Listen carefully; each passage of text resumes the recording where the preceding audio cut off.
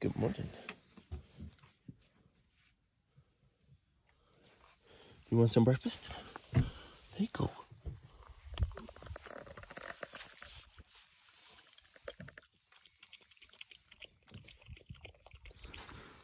ready? Ready.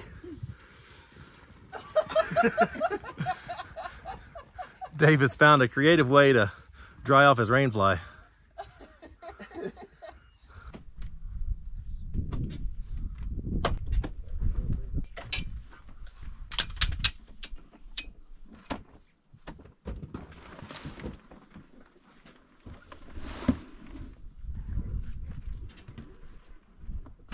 good morning.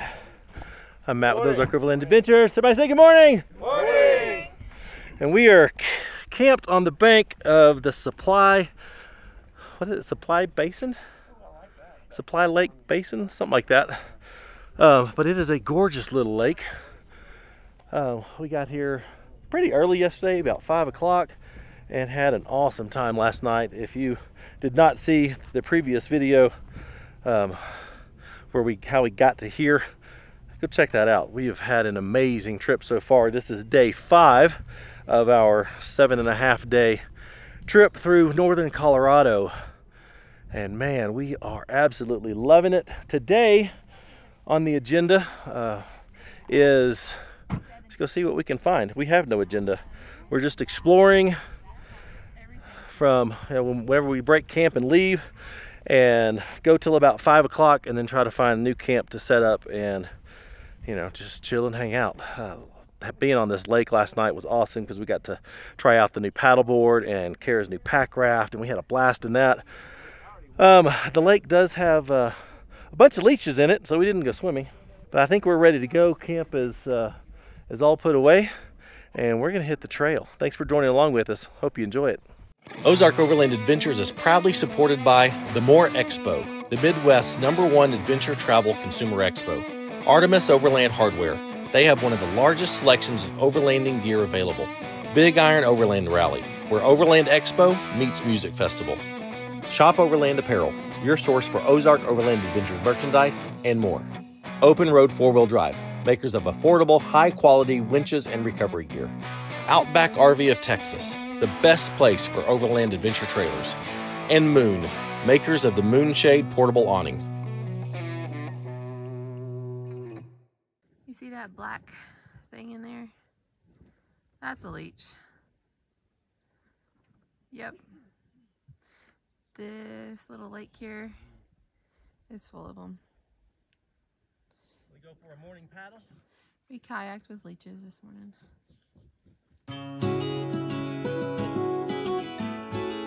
Well, it's going to be real hard to top this campsite, but we're going to try.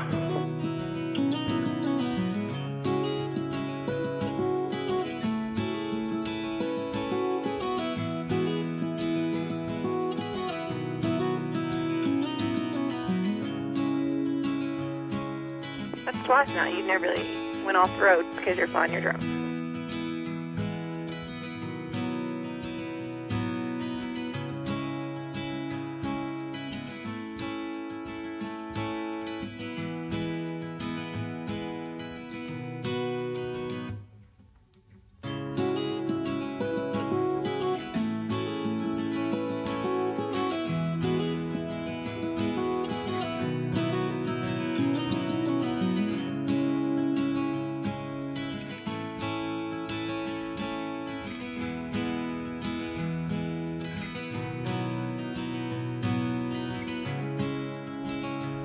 Of flowers are just so beautiful.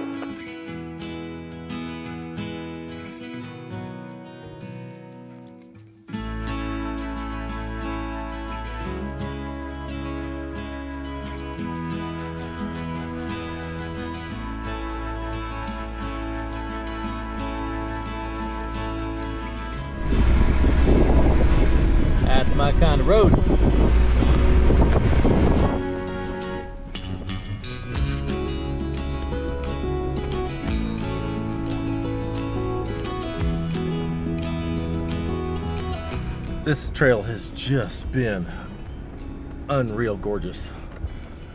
For a lot of the day yesterday and so far starting out today, we're, we're kind of on a plateau. Um, we're staying consistently well above 10,000 feet. Um, 10,547 right now. And I don't think we've dipped down below 10,000 for a long time. Um, we haven't had any real steep hill climbs or any steep descents or anything like that. So um, just been cruising around up here above 10,000 feet and the wildflowers are just bonkers. It's really hard not for me to just be constantly flying my drone or constantly videoing because it's just so gorgeous. But the the, the road is uh, uh, definitely rough in places, so you can't uh, you can't get too relaxed soaking in the scenery because you'll you'll hit a, a rock or a, a big rut in the road unexpectedly and get whiplash, which is not good. Um, but we're just gonna keep cruising and soaking it in. This is gonna be a good day.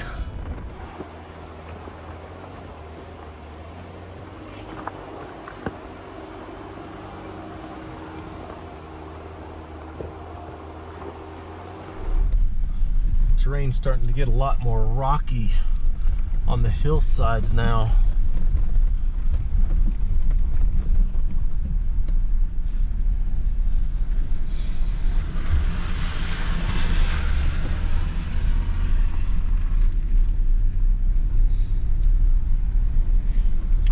We've crossed over 11,000 feet. Don't know if that's why. There's fewer wildflowers here.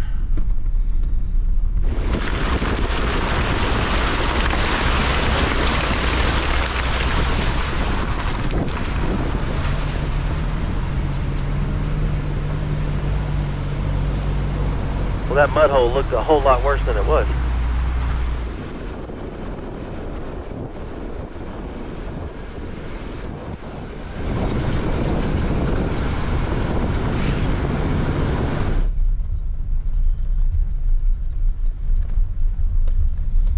Kara's moved to the back of the group because she wants to stop and take lots of photos without slowing the group down. So she hops out, takes photos, hops back in, catches up. I'll put some of her photos in here so that you can see what she's been doing. She's having a lot of fun.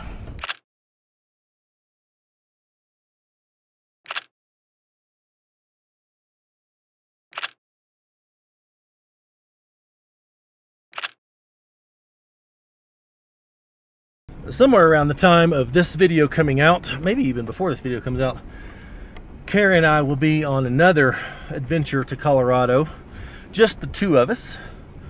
Me and my Gladiator, her and her Wrangler, and just the two of us making our way up the eastern portion of the Rockies on our way to Overland Expo Mountain West. And then after Mountain West, we're gonna make our way north into Wyoming for a day or two before heading home after that one. So be sure and hit that subscribe button because uh, I'm really looking forward to that trip with just the two of us. So if you're watching this and not subscribed, please hit that subscribe button. We've got a goal to hit 75,000 subscribers by the end of this year. And believe we can do it because I know a lot of the people that watch our videos um, never hit the subscribe button. So um, do me a favor, go down there and, and hit that subscribe button because uh, we got a lot of good stuff going on.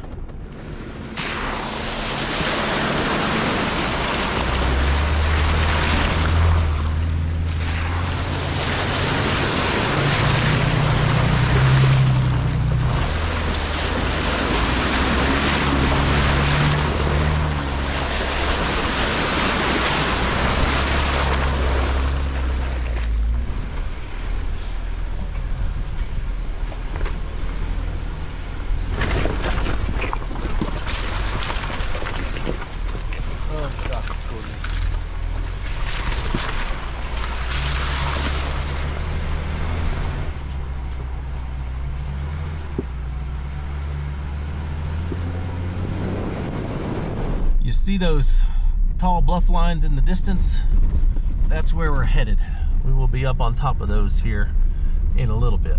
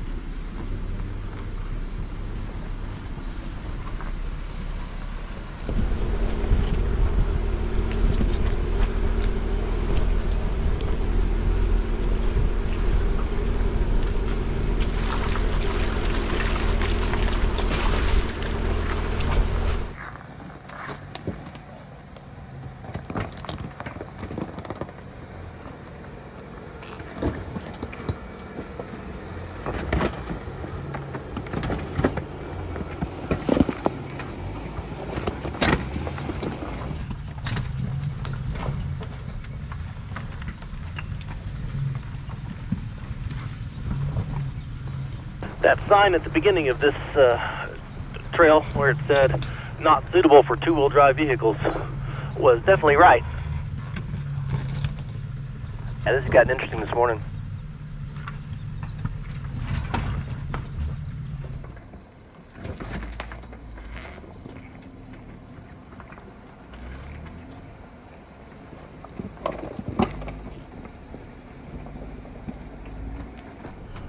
Well, this trail has had a solid mix of rocky technical sections, uh, smooth dirt, lots of ruts and and, and divots and stuff.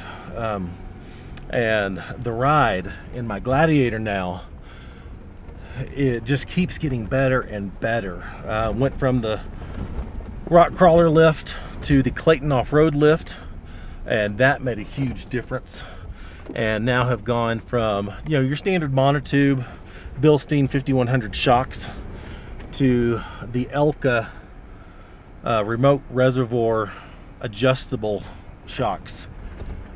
And oh my gosh the difference those shocks have made on a train like this with my Bilsteins I would have been beat up pretty good. I mean they're good shocks but this type of very terrain and um, you know they're not designed to to adjust between different terrains.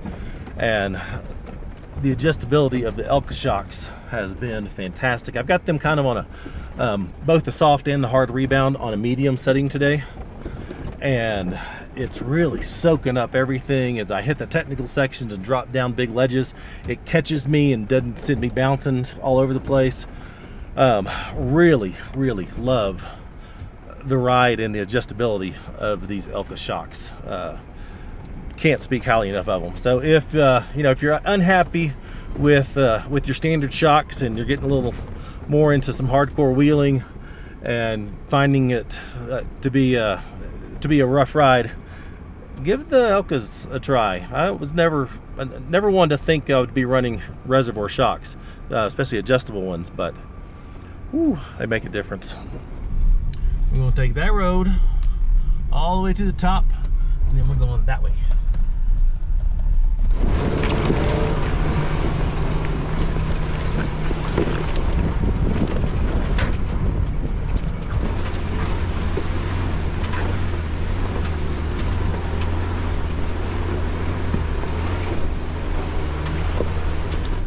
This has been a heck of a hill climb.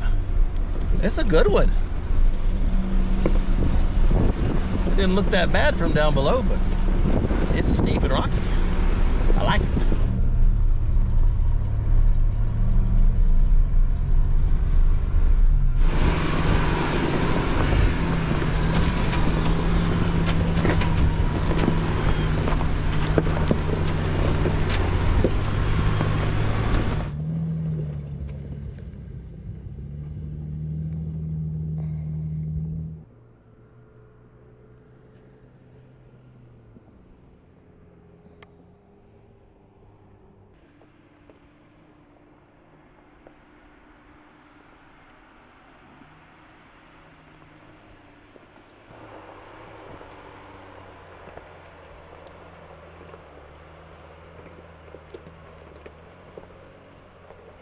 What an incredible trail. Absolutely beautiful. And fun. Gosh, it's been fun.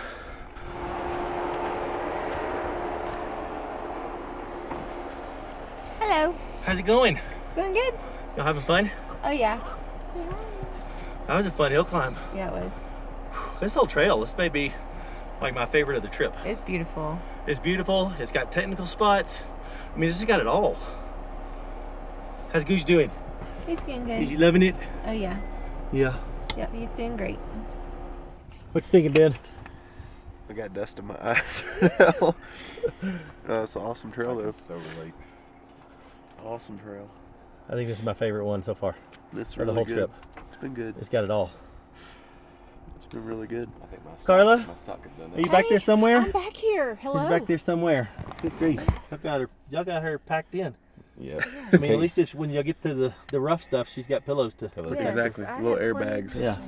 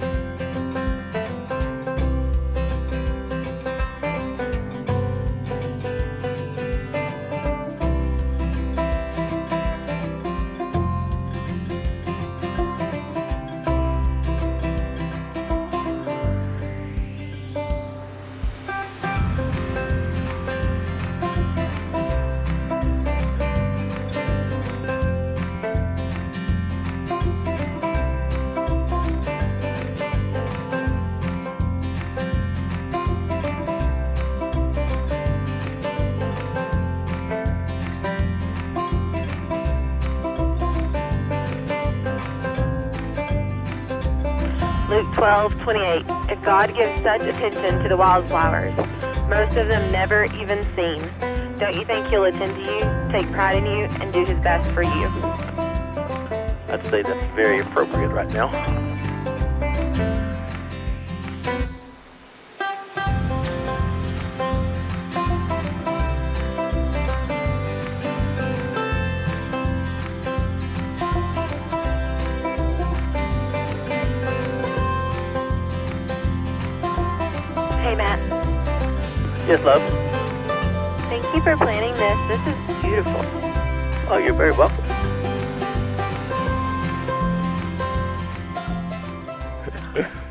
Well, we have found an incredible overlook on this ridge line.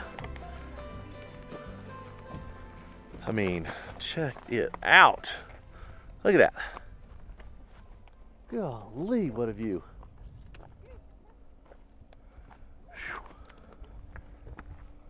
Snow cones? You know, got a big snowdrift right here. Have snowball fight up here on the on the bluff.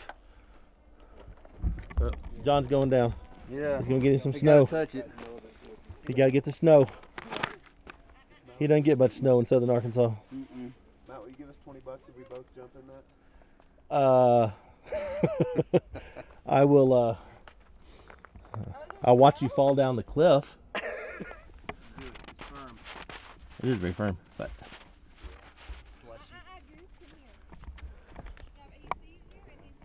oh, He can handle he, He's got a lot more balance than we do.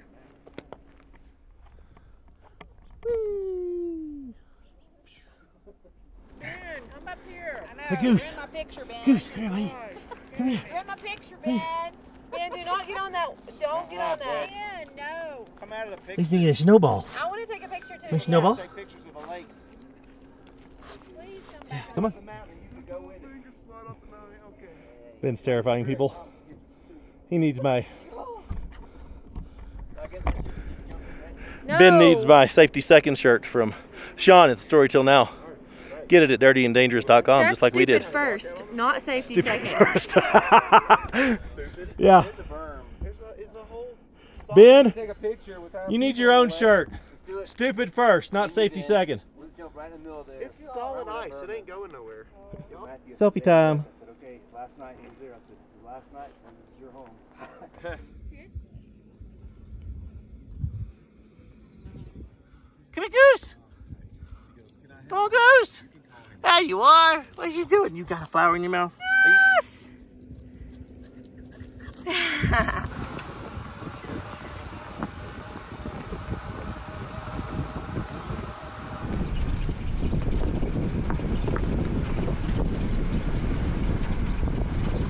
Well, after that last overlook, we found this little offshoot trail. They came here, and it was a great spot for lunch. The God, the colors in that lake down there are gorgeous. But this view just, man, they just don't quit.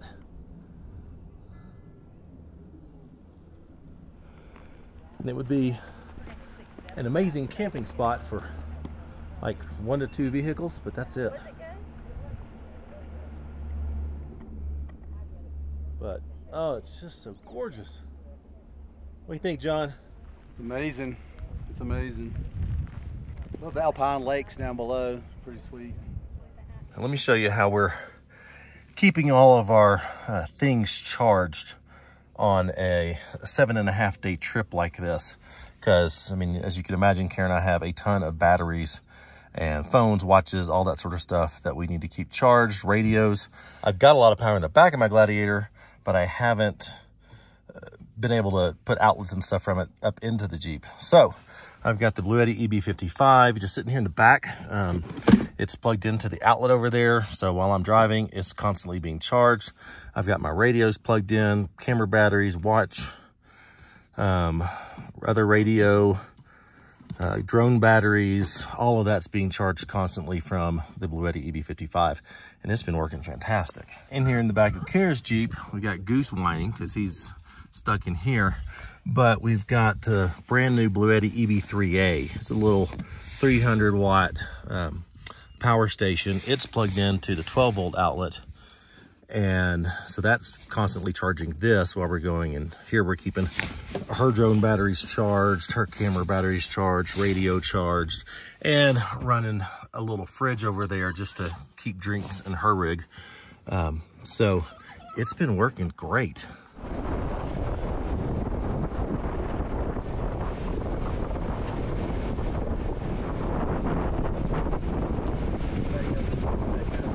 Well, we're working our way down the backside of where we ate lunch. And I mean, everywhere is just, it's just so unbelievably gorgeous. And I mean, it's just now 12.15 in the afternoon. And I don't know how long this video is going to be, but I've already gotten so much footage that uh, it may be a long one. So anyway, uh, if it is, if it is long, I uh, hope you enjoy it. Um, but we have not seen what we saw one one four-wheeler when we were at uh, before we stopped for lunch. We saw one one couple on a four-wheeler, and that's the only humans that we have seen all day today. And this this is why we do this. I mean, look at this. Uh, look at this. Look look over there, and then look over here, and then look over here. Hey, this this is why we do this because I mean, yeah, you can see some amazing things in the national parks and the state parks and stuff like that, but you're surrounded by a bunch of people and, you know, all that stuff. We're out here all alone. We got this, we got this all to ourselves. Just us and the chipmunks and the marmots and occasionally a deer. Haven't seen a moose yet, at least not on this, not in this area. But th this, this is why.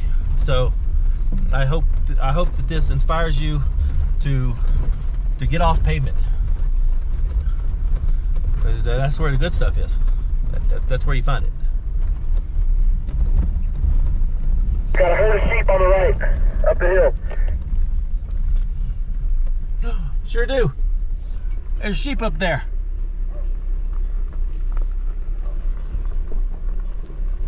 Whole bunch of sheep.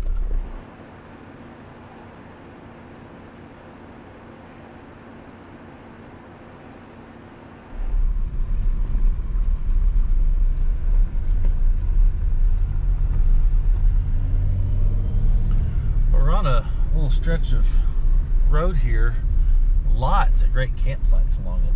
I've been marking them as uh, as we've driven by, just you know, for our patrons if they're in this area, finding places to camp pretty easy. I mean, there's there's a lot of really big ones, really nice ones tucked back into the trees. I mean, look at that one. You can see it very good. Look at that one. That is gorgeous.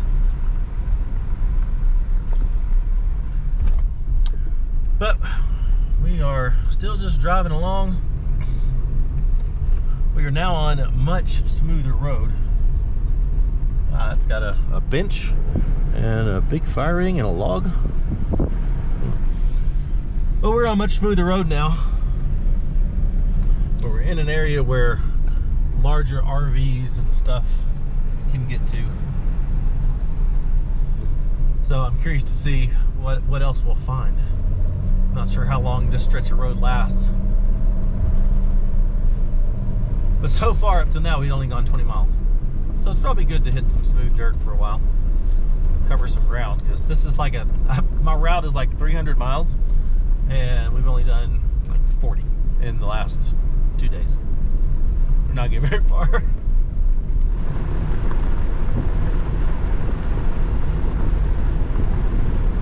It's crazy how you turn a corner on the trail and all of a sudden it becomes a graded Forest Service road and you're now down into the trees and just cruising along. It's beautiful through here with these aspens though. Look at this.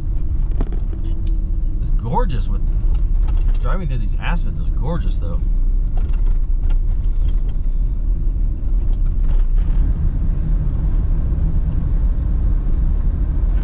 Here's the current situation. We have been driving on graded Forest Service roads for hours looking for a potential camp. Uh, once we came out of that gorgeous area, I think in the White River National Forest, we're now in the Routt National Forest, and there ain't nothing here. Uh, we've got some spots that uh, I was able to download from Lifestyle Overland's Patreon, uh, but they're, they're they're not very good here.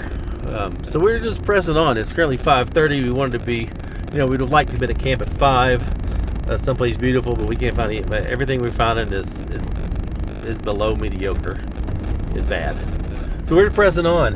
Um, I would love to actually get back on trail and off the graded Forest Service roads because here's the deal: if you're on graded Forest Service roads and there's campsites off of that, that means that anybody can get to them. You know, you got your little RVs, your van lifers, um, car campers. If, if you're on a graded Forest Service road, the odds of finding good camp spots pretty slim. So we, we need to get back on trail and off of graded Forest Service roads. I mean, at least it's pretty through here. And just think, just this morning we were looking at amazing fields and lakes, and now we're looking at dust. Yeah, not so good for the people behind us. All right, man. You're gonna go check out this uh, Chapman Reservoir area. Yes. Well, we did manage to find a nice large spot to camp uh, in this beautiful Aspen. Is it, is it Aspen Grove? Is it Aspen Grove? Aspen Grove. Aspen Grove. In this beautiful Aspen Grove. Um, I mean, there's there's no lake, there's no stream, but we got aspens and somehow there's no bugs. So that's a win. Um, we're all just setting up camp. And I think it's gonna be a good night. It's uh, six o'clock, so hour later than we normally would would want to camp. You can see Ben's using his CO2 tank to blow off the dust on the back of the 4Runner.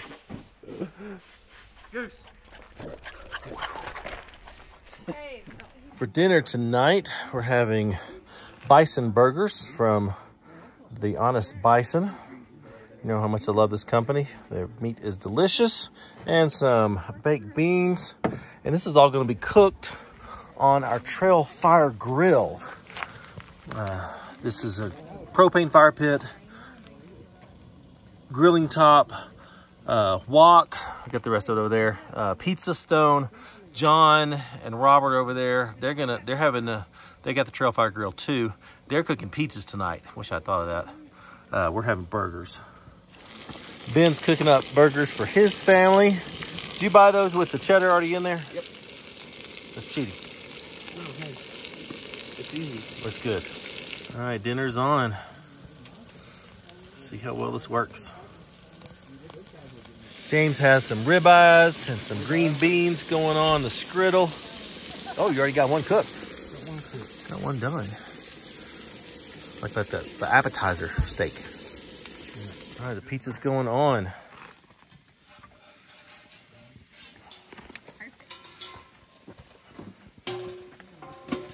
There we go. Oven is on. All right, they're almost ready.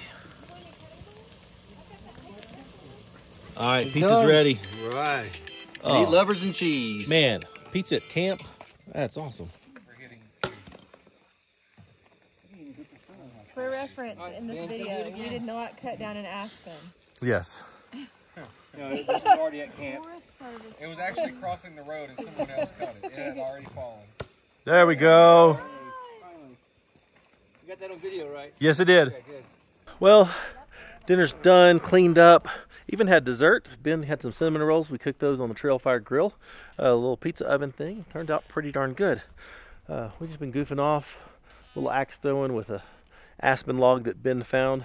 Not cut down. It was already cut. Um, and now we're just chilling around camp. Occasionally the wind blows and the aspens leaves rustle and do their little aspen song. It's really nice. Well, I think it's time to end this video for the day. It's been a good one. This morning was incredible. Afternoon, eh, but still a very, very, very good day. Say goodbye, Ben. Goodbye, Ben. Oh, if you would, subscribe to the channel if you are not already. Give the video a like. Uh, check out our Patreon link below uh, if you want to um, get access to special content, our GPS data, um, merch discounts, all kinds of good stuff. And go to shopoverlandapparel.com for Ozark Overland Adventures merchandise. And we'll see you tomorrow. or the next Friday for you. Good night, babe. Hi, babe.